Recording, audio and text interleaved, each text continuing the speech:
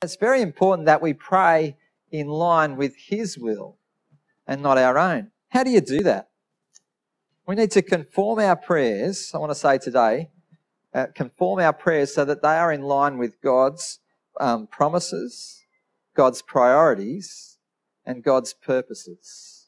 That's what we're going to look at today, those things. How do we pray in line with God's promises, God's priorities, and God's purposes? I want you to look back at that Psalm 102 with me. Um, we're going to start there. And uh, it's a pretty depressing little passage, wasn't it, that, uh, um, that Pat read to us before? Uh, this bloke who wrote it's obviously going through a really hard time. If you look at the little title uh, before some uh, before verse one, it says a prayer of an afflicted man. Well, that's uh, that's pretty obvious when you read it, isn't it? Let's look at what he says in verse three. For my days vanish like smoke, my bones burn like glowing embers, my heart is blight and withered like grass. I forget to eat my food because of my loud groaning. I'm reduced to skin and bones. This guy's going through uh, a lot of um, bad circumstances. Physically, uh, he's feeling terrible. Uh, we don't know if he's if he's uh, if he's having heart trouble, maybe, or if he's he's uh, he's obviously not eating. He's he's withering away. Uh, this guy's crook. but look in verse six and seven. I'm like a desert owl, like an owl among the ruins. I lie awake. I have become like a bird alone on a roof. He can't sleep at night, and loneliness is is affecting him. in look at verse eight. He says, uh, All day long my enemies taunt me. Those who rail against me use my name as a curse. So his enemies are giving him a hard time. Uh, this guy's got a lot of problems. Look at verse uh, 9 and 10. He says, For I eat ashes as my food and mingle my drink with tears because of your great wrath. For you have taken me up and thrown me aside. See, he's feeling like God's far away. In fact, God has discarded him uh, in punishment for his sin in punishment for the nation's sin, uh, God, is, uh, God has removed him uh, from his presence. And then in verse 11, he finishes with, My days are like the evening shadow. I wither away like grass. He doesn't have many days left on the calendar of his life. This guy's in a pretty bad situation, isn't he? The black dog of depression is growling at his door. And you can, and you can just imagine uh, what sort of condition he's in. But it's really important, the second half of this psalm. Where does he go from here in this terrible situation that he finds himself in? He remembers God's promises. Look in verse 13. Uh, you will arise and have compassion on Zion, for it is time to show favour to her. The appointed time has come. See, he's remembering God's promises to save his people uh, to be good and kind to his people, to show compassion to them. Uh, down in verse 16, for the Lord will rebuild Zion and appear in his glory. Verse 17, he will respond to the prayer of the destitute. He will not despise their plea. You see what's happening here is he's in a terrible situation, but in his prayer, he's re- recalling God's promises. And he's repeating what he knows that God has promised both him and the nation. His prayer life is full of the promises of God. And in verse 28, we see finally, he says, The children of your servants will live in your presence. Their descendants will be established before you. He knows that God will, will bring about things to be right in the end. That God will bring his people into his presence, that they will live with him. His prayer, his prayer life is full of God's promises. And I want to say in our prayers, in the situations that we find ourselves in, we need to recall God's promises. We need to fill up our prayers with God's promises. I've got a whole, um, a whole lot of examples here uh, that we're going to have a look at. Um, because, oh, hang on, sorry, I haven't turned this on yet. Uh, you might be feeling uh, like you're spiritually dry, uh, like you've been, you're a bit run down spiritually. Well, a promise like John 4:14 is great, isn't it? Whoever drinks the water I give them will never thirst. Indeed, the water I give them will become in them a spring of water welling up to eternal life. Or maybe that you're concerned uh, that you're going to face God's, if you face God's judgment, you would be doomed. Have a look at this from John 5 24. Very truly I tell you, Jesus says, whoever hears my word and believes him who sent me has eternal life and will not be judged, but has crossed over from death to life. What a great promise to remember in your prayers if you're feeling like you're failing God and, and, you, and you, you're under his judgment. Uh, how do I know if God's Spirit is living in me? Someone asked me that question one time. How can I tell if God's Spirit is in me? And you might be ask, asking that same question. Have a look at this promise in Acts 2. Uh, this is Peter speaking. Repent and be baptized, every one of you, in the name of Jesus Christ for the forgiveness of your sins, and you will receive the gift of, your, of the Holy Spirit. The promise is for you and your children, for all who are far off, for all whom the Lord our God will call. Maybe um, at times you're feeling, have I done enough to please God? Well, look at Romans 3.20 and the promises that are in this. Uh, this righteousness is given through faith in Jesus Christ to all who believe.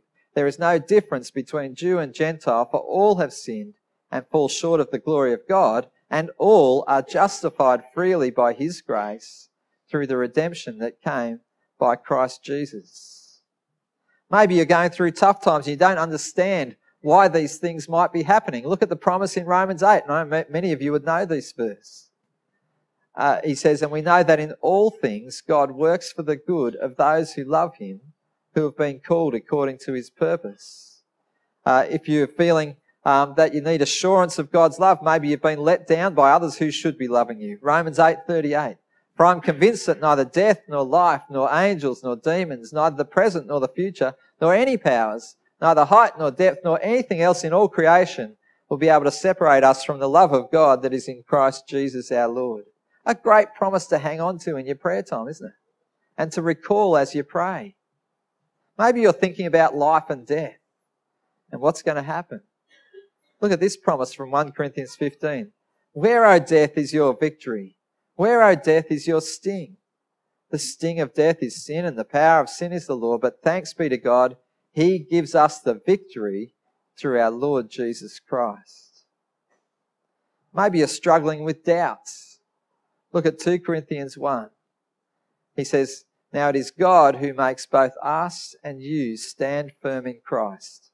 He anointed us, set his seal of ownership on us, and put his spirit in our hearts as a deposit, guaranteeing what is to come. Maybe you're facing physical struggles. 2 Corinthians 4. Therefore, we do not lose heart. Though outwardly we are wasting away, yet inwardly we are being renewed day by day. For our light and momentary troubles are achieving for us an eternal glory that far outweighs them all. So we fix our eyes not on what is seen, but what is unseen, since what is seen is temporary, but what is unseen is eternal. Maybe you're concerned about your finances and your ability to be generous. Have a look at this promise. Now he who supplies seed to the sower and bread for food will also supply and increase your store of seed and will enlarge the harvest of your righteousness. You will be enriched in every way so that you can be generous on every occasion. And through us, your generosity will result in thanksgiving to God. Maybe you're facing difficulties in your family who, uh, some members of your family who shun your faith. Ephesians 1 5 is a great promise, isn't it? For he chose us in him before the creation of the world to be holy and blameless in his sight. In love, he predestined us for adoption to sonship through Jesus Christ. And maybe you're just feeling like the world is falling apart. It's going to hell in a handbasket. Have a look at Revelations 21. Then I saw a new heaven and a new earth. For the first heaven and the first earth had passed away, and there was no longer any sea. And I heard a loud voice from the throne saying, Look, God's dwelling place is now among the people, and he will dwell with them. They will be his people, and God himself will be with them and be their God. He will wipe away every tear from their eyes. There'll be no more death or mourning or crying or pain, for the old order of things has passed away. We have so many promises, and I've just chosen these ones out of so many we could have looked at today. There's so many promises of God in the Bible. I want to encourage you to fill up your prayers with these promises. And what you can do, uh, it's a really good practice. You might want to take the white on the white sheets. You've got listed all these things, but you might want to. Um, I want to encourage you to, as you see a promise of God in the Bible, as you're reading your Bible at home or at church, as you see a promise, you've all got a blank page right at the start of your Bible. And it looks like that. Okay, the inside cover of your Bible. Write it down. Write that verse out. I know a bloke called Terry Hughes who does this. And in the front of his Bible, he's got written all his favourite verses, verses that remind him of what God has done and what God promises him. And it's a great way, and he uses those verses to pray. It's a great way to fill up your prayers with the promises of God. That will be a much richer and deeper um, prayer time as we do that. So filling up our prayers with God's promises is important, but also want to talk about filling up our prayers with God's priorities. Now, I'm only going to speak about one priority today, um, and it's the harvest. There's a, only a few specific things that Jesus tells his disciples to pray for. He tells them at one point uh, to pray for their enemies, and we should all do that, even though it's really difficult. We should pray for our enemies. Uh, he tells them to pray that they won't fall into temptation. Um, and this is the third one that he specifically tells them to pray for. And he says, Pray uh, that, uh, he says, the harvest is plentiful, but the workers are few. Ask the Lord of the harvest, therefore, to send out workers into his harvest field. This has got to be a priority in our prayers. This comes up on my prayer list every three days. And, uh, and I pray for you guys. I pray for you that God would send you out in his harvest field. Now, I'm not talking about wheat or sorghum or barley or those sorts of harvests. Obviously, we're not talking about that because if you read the verses just before these verses, you will see that Jesus looks at the crowds and he sees people who are, are harassed and helpless like sheep without a shepherd. He's been teaching them the good news of the kingdom and bringing them into God's kingdom. That's the harvest, isn't it? People who need to come to know Jesus and his great love and salvation. People who need to be brought into his, into his kingdom. That's the harvest that's out there. And it's plentiful, Jesus says. But the workers are few. And as I pray about this, I pray for you. I pray that God would send you into the harvest. I pray for missionaries to go out to uh, other places, and I pray for new ministers who are coming to our diocese and for blokes to go to Bible college and all that sort of stuff. But I pray for you that God would send you into the harvest field because you, you're, you're there. The harvest is all around you. And we need to be involved in this harvest. We need to join the harvest team, working to bring people into God's kingdom. In, uh, over the next couple of years, uh, you're going to hear about um, the, the mission that's happening right across the diocese. It's called Seeing Jesus Clearly. And uh, this mission uh, is, involves a couple of stages. Thanks uh, Tim. And, and uh, the ambition of this uh, mission, have a look on the screen. It says the prayerful ambition is to equip Christians with the gospel and to get into every house and onto every farm with the gospel, to introduce people to Jesus and help them home to heaven. That's the ambition, but the stages of this uh, mission are that, first of all, in 2019, there's going to be a big emphasis on encouraging people to have a heart for the lost because often we, we get desensitized to it. We don't think about our neighbours and our family and our friends. And without Christ, these people are all going to hell. And we need to have a heart for the lost that will motivate us to pray for them and to reach out to them. So that's in 2019. You'll be encouraged to have a heart for the lost, uh, to pray more and more for those around you and to be trained to be harvest workers. That's the other part of 2019. That you'll be trained to work in the harvest, to plant seeds, to water them, to pray that God would cause the growth, and that you would see people brought uh, into his uh, kingdom, and that you'll be involved in that harvest.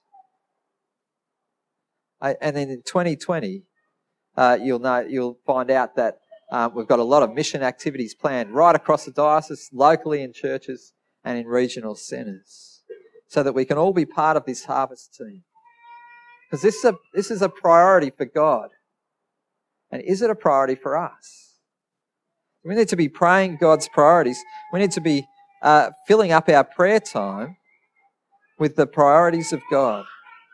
And as you see the priorities of God in the Bible, write them down. Open the front cover of your Bible, write them down so that you can include them in your prayer time. So we're praying for God's promises, we're praying with God's priorities in mind. We also need to pray God's purposes. I want you to have a look in your Bibles at John 17. Oh, actually, I think I've got on the screen. No, I don't. Yes, I do. John 17. Uh, it's on the screen.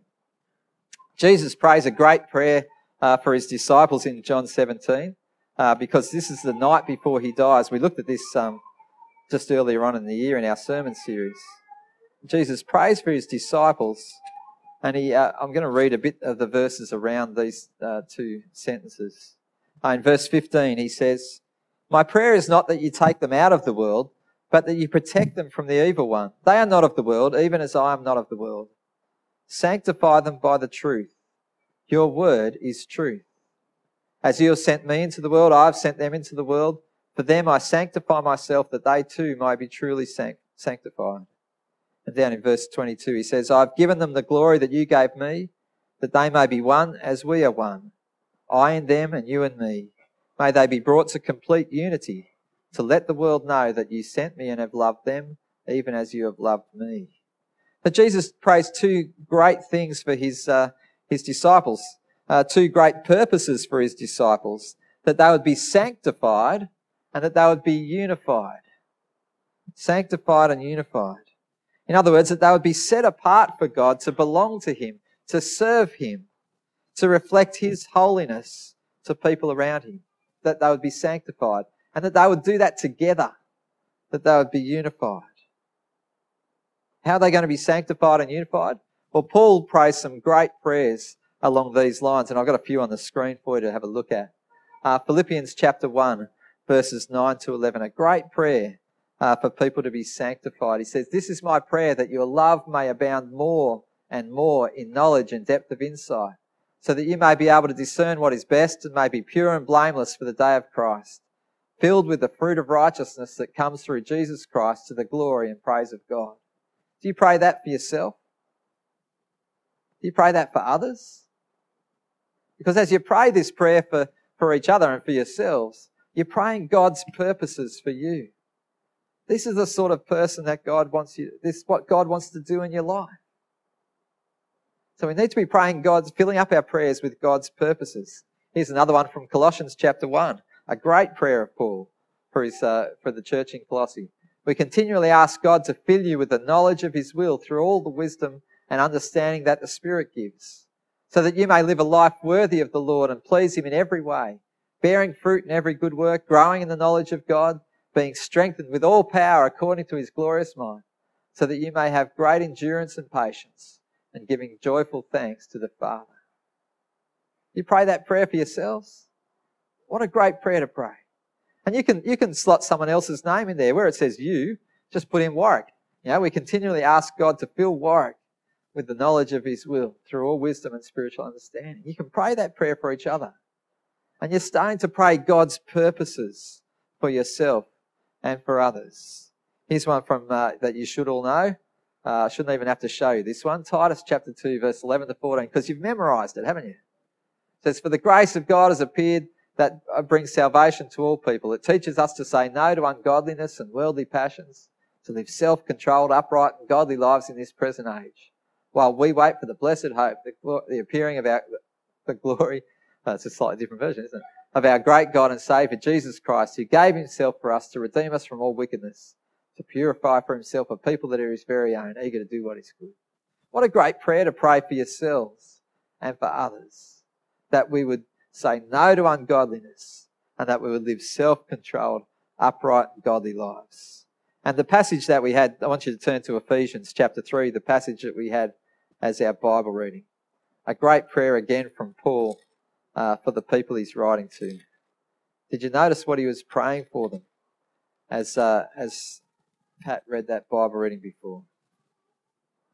Ephesians 3, it's page 1762, verse 14. He says, For this reason I kneel before the Father, from whom his whole family in heaven and on earth derives its name. I pray that out of his glorious riches he may strengthen you with power through his Spirit in your, in your, in your inner being, so that Christ may dwell in your hearts through faith, And I pray that you, being rooted and established in love, may have power together with all the saints to grasp how wide and long and high and deep is the love of Christ, and to know that this love that surpasses knowledge, that you may be filled to the measure of all the fullness of God. Isn't that what we want for each other? That we would be filled with the good, uh, with, to, sorry, I'm going to read it to make sure I get it right. Be filled to the measure of all the fullness of God. What a great prayer to pray for each other. That's God's purposes for us. We need to fill up our prayers with God's purposes. Because it will help us, first of all, to gain a greater understanding of what God's will is for, for, for you, first of all, and then for others. People often ask me, or say to me, oh, I wonder what God's will is for me. Well, here it is. This is what God wants for you. This is purpose for you. So fill up your prayer time with these purposes of God. See, back to the question at the start, what could you pray for? You can pray for anything. You can pray for your car keys. You can pray for the parking spot in front of the chemist. You can pray for anything. It doesn't matter. Fine, go for it. But what should you pray for? As you pray, I want to encourage you to fill up your prayer with the promises and priorities and purposes of God. Use these Bible passages. Insert people's names in there. So that, and uh, maybe after the sermon each week, um, pray about what was in the sermon, what the message of that sermon for you. So we can pray that we'll find the car keys. But if you ever, only ever pray about incidental things, then look at all the great things that could make your prayer life richer and deeper and more meaningful and satisfying. I encourage you to fill up your prayer with God's promises and priorities and purposes. Let me pray for us.